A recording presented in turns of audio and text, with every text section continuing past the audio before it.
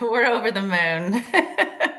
we just cannot believe it. We're so excited. Turns out Andrea Johnson and her daughter will get to see Noah Kahan perform in person after all, something she thought nearly impossible when we last spoke to her. All you were looking for was your money back, but this is kind of above and beyond. I mean, we were not expecting this at all. I mean, I I can't believe this happened. I mean, it's pretty cool.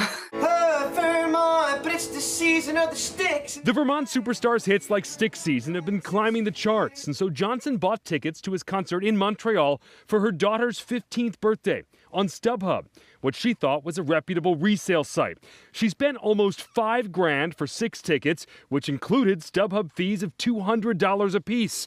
The tickets were supposed to be sent by mobile transfer, but then StubHub told her ticket transfer is disabled, and instead of facing the music and giving her a refund, the company offered a bizarre explanation of how she'd get in. They told me that they guarantee somebody will meet me at the door.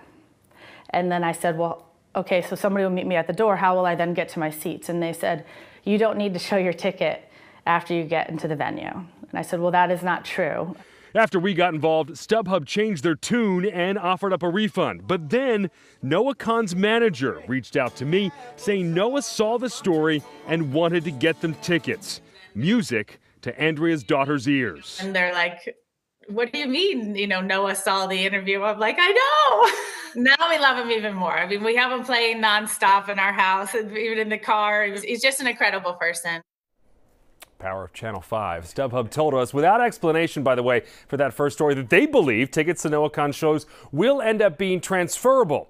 Even though it says right on the Fenway website, for instance, where he plays this July, that that's not true. So the only confirmed place to buy tickets for Kahan's 2024 tour is directly from Ticketmaster or on Ticketmaster's own resale site, which does not let the tickets be marked up in price.